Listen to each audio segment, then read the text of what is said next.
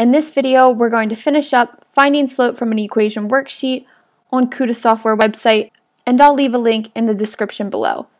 Our directions are to find the slope of each line, and we know that our slope is that m, so the coefficient of x when we have it in the form of y equals mx plus b. So let's continue where we left off with number 16. In number 16, we have x plus 5 plus y equals 0. We need to isolate the y, so let's go ahead and subtract y from both sides to get that by itself. We'll have x plus 5 on the left, and that's going to be equal to a negative y on the right. We want this y to not be negative, but instead be positive. So we're going to multiply both sides by a negative 1 in order to get y by itself and positive. So when we multiply by a negative 1, we need to distribute that on the left-hand side. That'll leave us with negative 1x plus negative 5 equal to a positive y.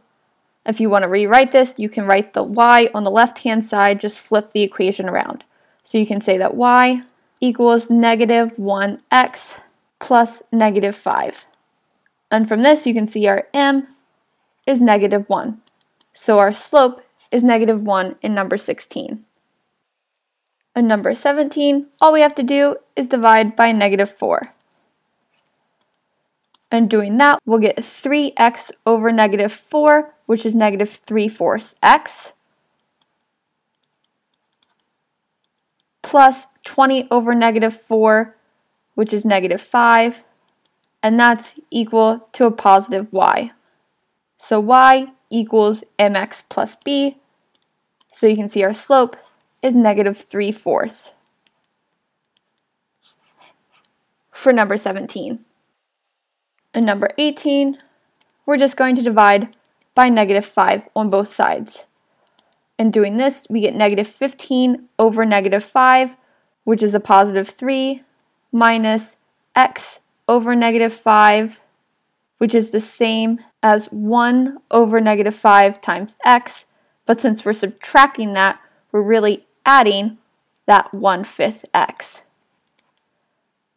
And that's equal to a positive y. So our slope for number 18 is 1 fifth. y equals mx plus b. In number 19, I'm going to add 2x to both sides. Doing this, me with 2x minus 1 on the left, and that's equal to a positive y on the right.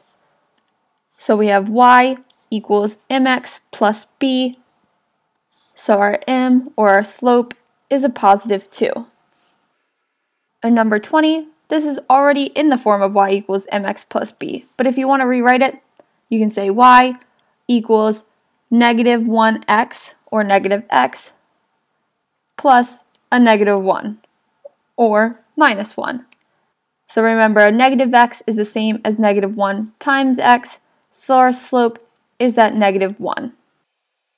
In number 21, I'm just going to add x to both sides at the start. Doing this will leave me with x on the left, and that's equal to 5y on the right. Then I'll just divide both sides by 5. So we'll have 1 fifth x is equal to y. So we have our y, and that's equal to mx plus our b, which would be 0. So our slope is 1 fifth. And lastly, number 22. Negative 30 plus 10y equals negative 2x. We're going to add 30 to both sides,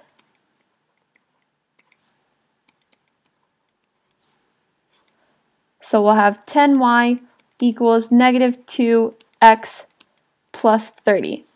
Then divide by 10 on both sides.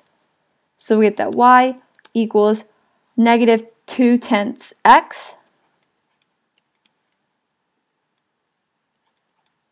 plus 30 over 10. or you could say plus 3, since 30 divided by 10 is 3. So our m is equal to that negative 2 tenths. However, negative 2 tenths can be simplified to negative 1 fifth. So our slope for number 22 is negative 1 fifth.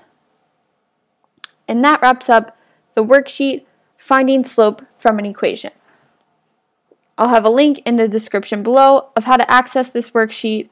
Go ahead and comment if you have any questions, like this video, and don't forget to subscribe to my channel.